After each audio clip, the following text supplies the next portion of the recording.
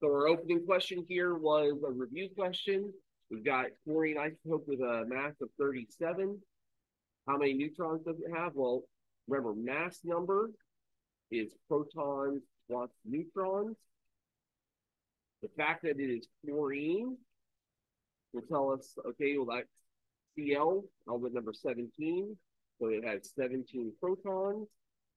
So 17 protons plus the number of neutrons has to equal 37. 37 minus 17 would be 20 neutrons. So we were looking for an answer of 20 there.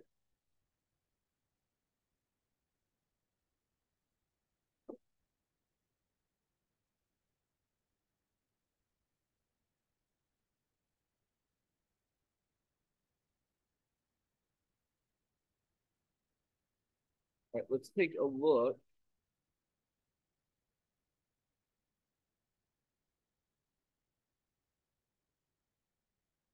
At another review question.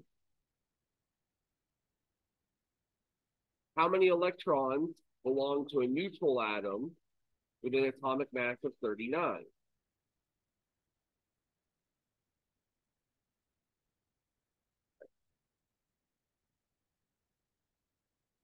Going to give you a minute to think about this one. I don't want you to overthink it.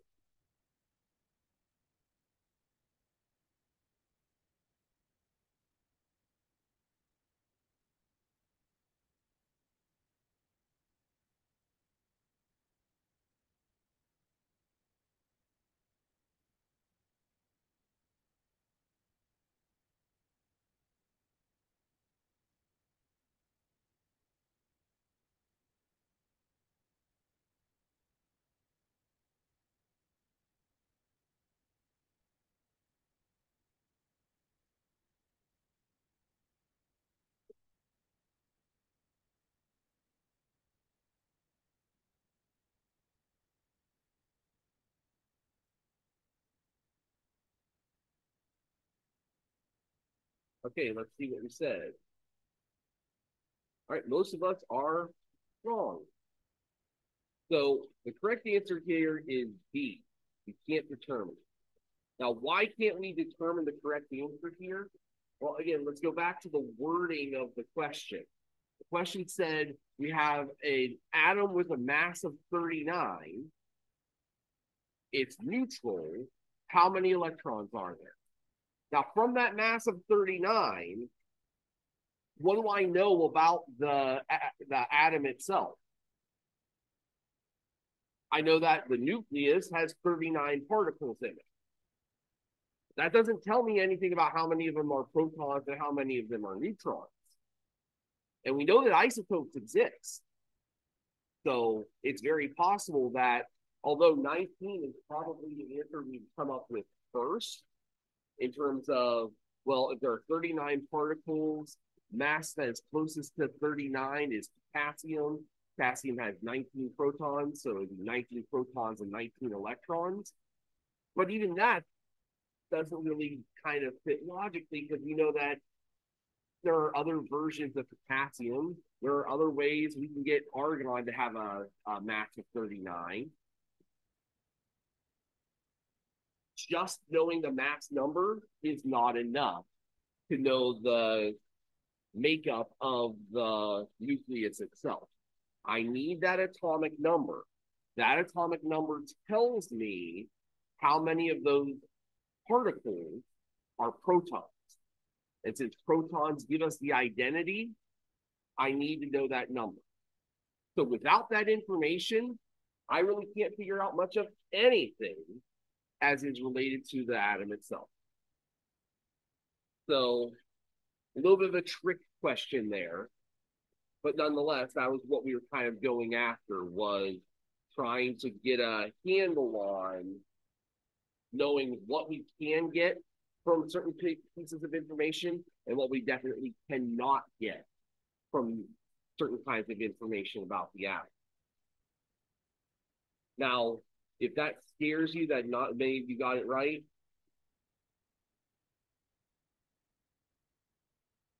know that you're in good hands.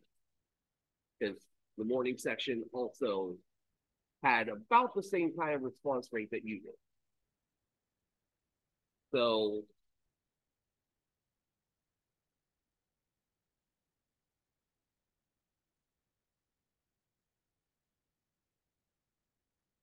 let's move on then into a little bit of talk about how to actually calculate these masses.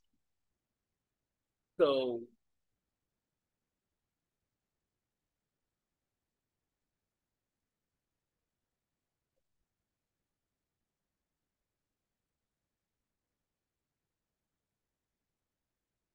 Wednesday, we talked a little bit about how this is made up. The idea that a mass number gives us the particles in the nucleus, but that really doesn't match up with what the information on the periodic table is. Periodic table information is average atomic mass, where we take all of the different isotopes of a given element and we compare them and kind of weigh them against how much that particular isotope is in terms of how common it is. The more common it is, the more of an impact it's going to have on the average mass. So based off of this information here, we know that there are three common isotopes of neon. The most common of those common isotopes is neon 20. So if I look at the periodic table, I would expect that the mass of neon 20 is probably pretty close to that 19.99 AMUs. If I look, I can see neon has a molar mass or, or an atomic mass of 20.18. So again, really, really close. Why is it not exactly this value of 19.9924? Well, because we've got these other isotopes in the mix there that because of their abundance, they are going to drag that average atomic mass up a little bit because they are a little bit heavier. Now, how do we go about that calculation? Well, the calculation itself is relatively simple. I take the mass and I multiply it by the abundance.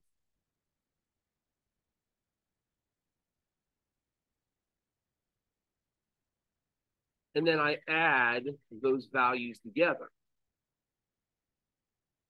So this mass of neon 20, 19.9924, multiplied by the abundance, 90.4838%. Now, sig figs do play into this as well. I've got six digits in this number and six digits in this number. So my product is going to have six digits in it as well. So my calculator gives me about as many digits as is possible for this model of calculator. I've got to round it to six digits. So when I do that, it's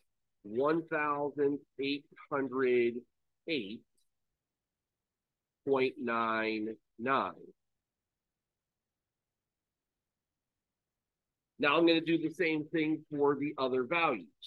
20.9940 times 0.2696. This time I'm only going to round to four digits because even though this mass still has six digits, my percentage only has four digits. Whereas zero in the front doesn't count as a significant digit. So I have four digits here and six. I've got a round of four digits there. And that's going to give me five point um, six six zero.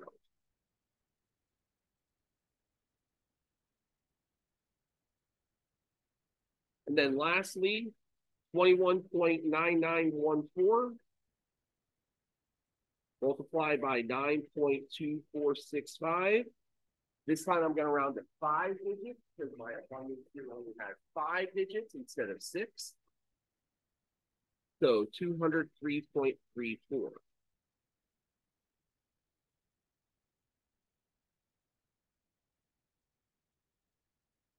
My next step, now I've got all the multiplication done, I need to add these together.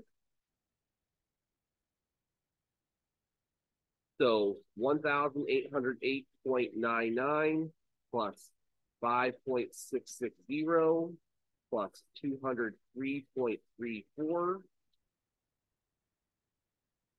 is two thousand seventeen point nine nine zero. Now, here's where we can get a little bit confused. We're doing adding this time. So significant figures aren't based upon the number of digits, but rather on where those digits are. So let's flip over to the highlighter here. In my first value, it's the second decimal place. That was the last significant digit. So I'm going to highlight the second decimal place here. In my second number, it was the third decimal place. That was the last significant. So I'm going to highlight that there. And here in the last number, it was also the second place. So I'm going to highlight that there again. When I'm adding and subtracting, if all of the decimal places are all in the same spot, I don't have to do anything further. I'm already good. If I have a situation like this where I've got multiple decimal places, multiple spots where I have estimated digits, I have to round to the leftmost estimated digit. Now, in this case, it really doesn't matter. The other digit was zero. So magnitude standpoint, nothing's really changing. But from an interpretation standpoint, our final value here has two decimal places, six total digits. Now, the other question you might be asking yourself is, so hold on, wait a second. 2017, that doesn't match any of the masses over there. It's not even close. Well, there's one more thing that we have to do. We use percentages here. Percentages are multiplied by 100. So the value that I get off of this is 100 times bigger than what it should be. To turn this into an actual mass, I need to get rid of that 100x factor. So I'm going to divide by 100. And when I do so, it's going to give me my final value, 20.1799 AMU. And if I look at periodic table, 20.1799 is pretty darn close to the value that is listed for neon on the periodic table. The differences between the two are probably rounding issues or rounding issues in terms of the values we have for percent abundance fields or for the masses. Otherwise, pretty well the same. All right, any questions about this from a technique standpoint? How to actually crunch the numbers and do this?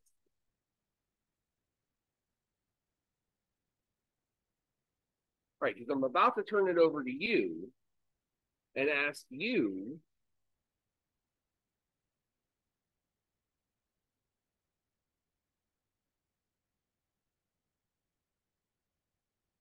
to answer a question. So we have copper. Copper exists as both copper 63 and copper 65. Copper 63 makes up just over 69% of copper. Copper 65 makes up the rest of copper. We need to figure out what the average atomic mass is. So follow that exact same series of steps, piece by piece and try to get the average atomic mass. Gonna let you go at it on your own here for a couple of minutes, and then we'll walk through how to do it and get the correct answer here at the end.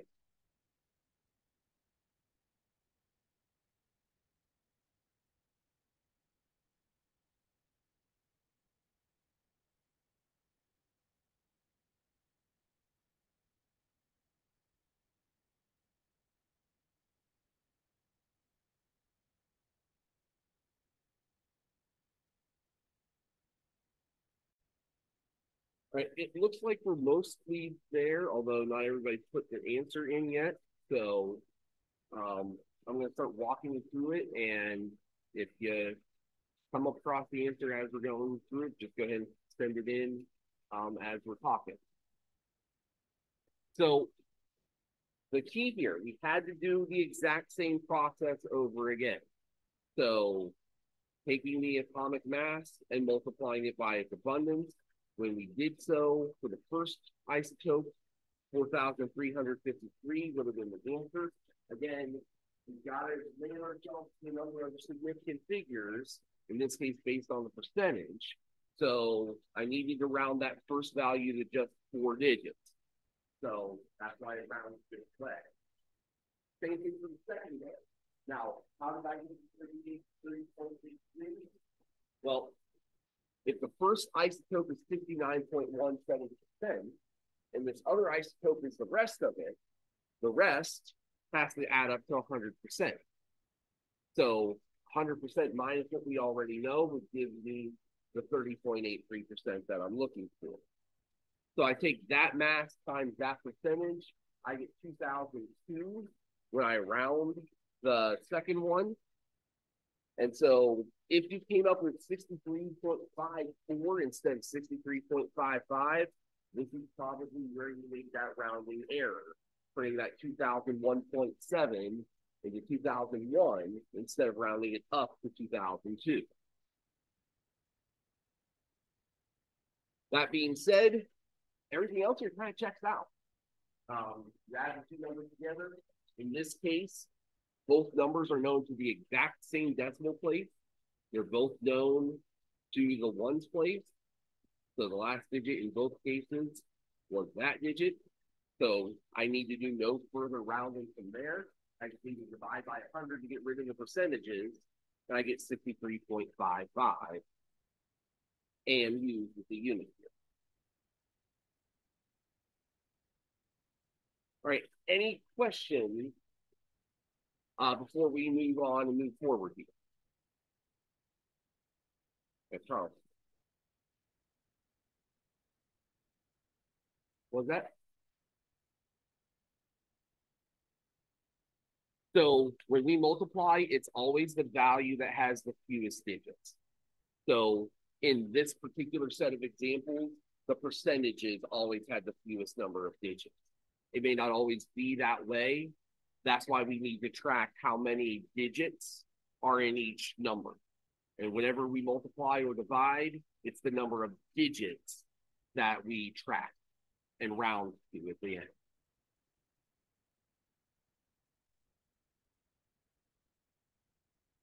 Yeah, so if we only knew the values to three digits, we would round all of those to three. So it's always dependent on your worst, least precise measure. It's called the weakest link rule. Anytime we do any kind of rounding, we always round to the weakest link. The weakest link is our least precise measure. So whether it's the least precise because it has the fewest number of digits, or it's the least precise because it has the fewest decimal places, that's uh, discussion for what kind of function we're doing. Are we multiplying or are we adding? All right, other questions?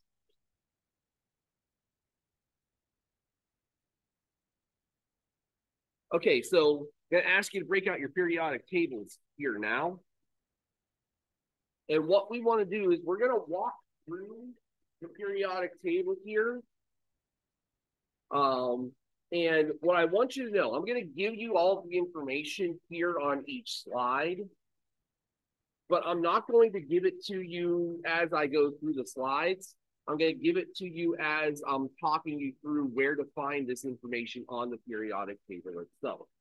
So if you're looking for those kind of comprehensive lists, don't worry about trying to jot down every single thing I'm saying. Everything I'm saying is is here in these slides, and you can download the slides off of Top Hat or Blackboard. What I want to focus us on, though, is to uh, the same periodic table that you're using. So the periodic table is organized in a number of different factors and characteristics. So first of all, it's called a periodic table because the periods, the rows of the table are structured in this kind of way. And so the reason it's periodic is because within a given row, if I start looking at things from column to column to column, what I will find is that regardless of period, elements in the same column have similar kinds of properties, both in terms of physical kind of characteristics as well as chemical characteristics, the way that they react and interact with the rest of the world. We can split the periodic table into two areas, the metals and the non-metals. And the dividing line between metal and non-metal is this thicker black line that kind of staircases through the right side of the table.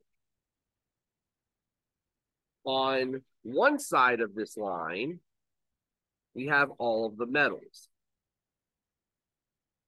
On the other side of this line, we have the non-metals.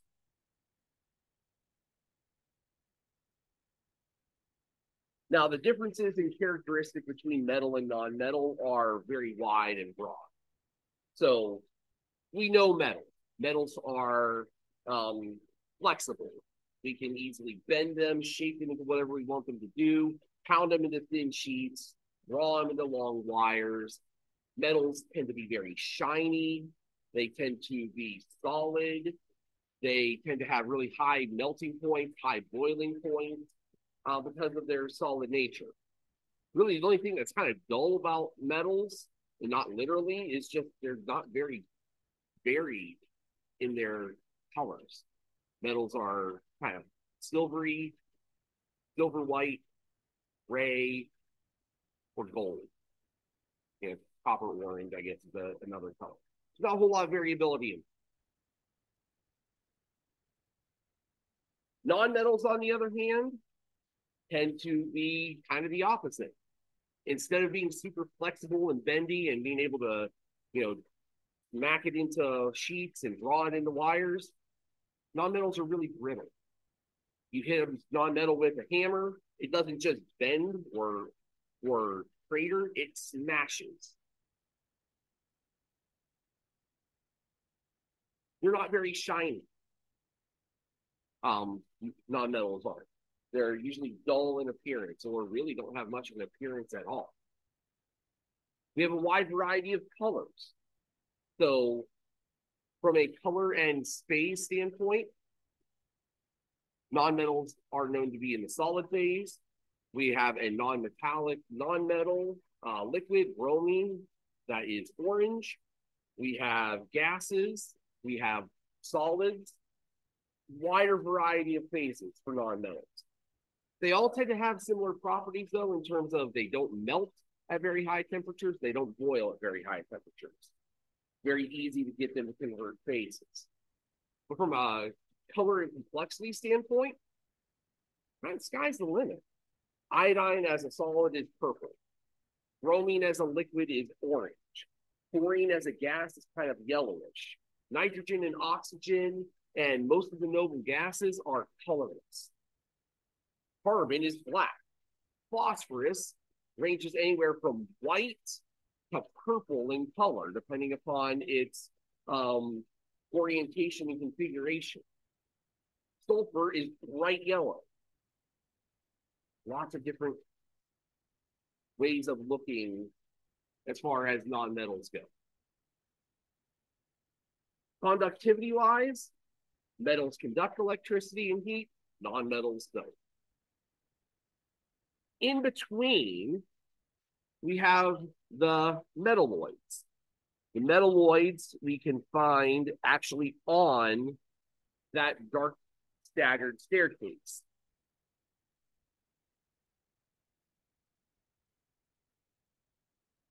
And metalloids kind of fit the best of both worlds, or at least fit into both worlds. Take silicon, for example. Silicon is kind of non-metallic in the way that it acts. Not terribly reactive, doesn't really make ions like most metals do, but it kind of conducts electricity. And if we really purify it and get it down to the right temperature, it really conducts electricity quite well. But uh, kind of shiny. It really doesn't fit in either way. It's got the conductivity and the shininess of a metal, but the brittleness and lack of reactivity of a non-metal. That fits in both spots. And so metalloids, semi-metals, they fit into this kind of area here. Now let's take a look at some of the different zones of the periodic table. Some of the common families, if you will. So group one, this is a group known as the alkali metals.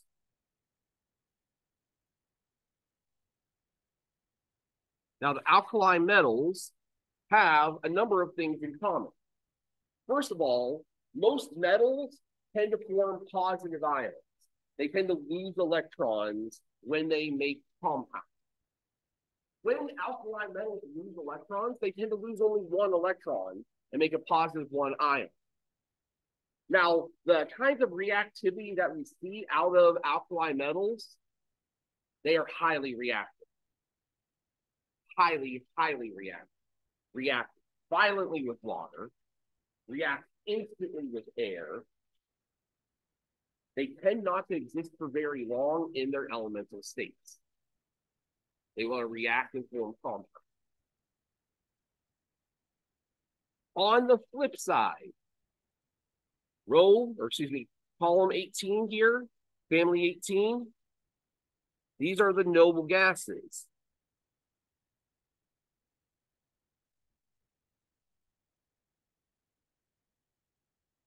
And one of the defining features of the noble gases is that they don't have charges. Why don't they have charges? Well, they don't react. They don't react at all. And since the formation of ions is a product of reactivity, they don't make ions. They just don't. Now, more closely related as far as nonmetals are concerned to the alkali metals are what we call the halogens. The halogens exist in group 17 here, and they are kind of the non-metallic equivalent of the alkali metals. Highly reactive nonmetals. They form a negative one charge as opposed to a positive one charge. And that's a non-metallic characteristic. Non-metals tend to form negative charges. So metals tend to be positive, non-metals tend to be negative. Halogens tend to be negative one.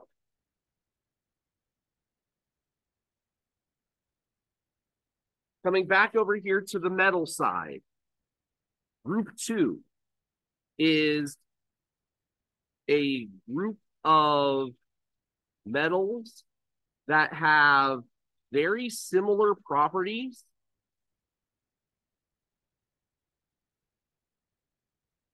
to the alkali metals. The alkaline earth metals are reactive with air and are reactive with water. But they're reactive in both senses to a considerably lesser extent.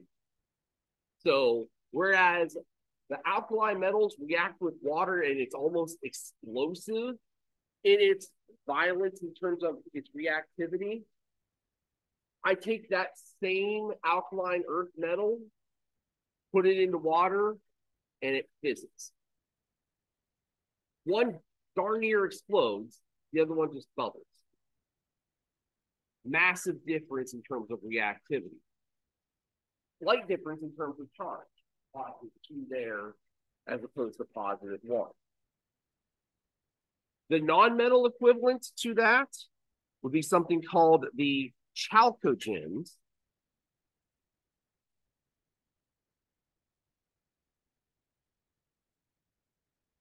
Group 16, the oxygen group, and they form a negative two charge. In here, we have some really reactive non-metals. Know, oxygen is a very reactive part of our atmosphere. Sulfur can be found in a lot of different um, rocks.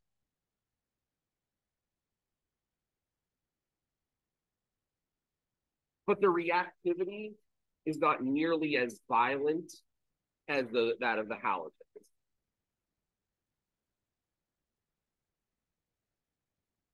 Now, those are the only five groups that have specific names. Other groups get kind of lumped in generically. So these metals in the middle are referred to as transition metals. And there aren't a ton of really common traits to any of them, other than they are kind of, sort of, not really all that reactive. And they form positive ions, but those charges are not consistent. Even less reactive are these here called the inner transition metals, the ones down here in the bottom.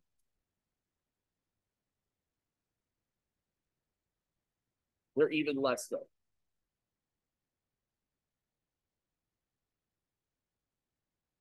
Right, one last thing that we're going to add. You can see that we're starting to kind of build a pattern here as far as charges are concerned. Plus one on one extreme, negative one on the other extreme. Come in a little bit, it's positive two and negative two. Well, if we continue to come in, the boron group tends to form positive three ions. And the nitrogen group tends to form negative three ions, at least for the non-metals in that group. We get down here to bismuth. Bismuth we treat like a transition metal, kind of goes in multiple directions. The carbon group, we're just going to leave that one alone. Main reason we're going to leave it alone, these are reactive, but they tend not to react ionically. They tend to react covalently and share electrons. So that takes us through our brief walkthrough of the periodic table. On your way out, make sure that you answer this last question.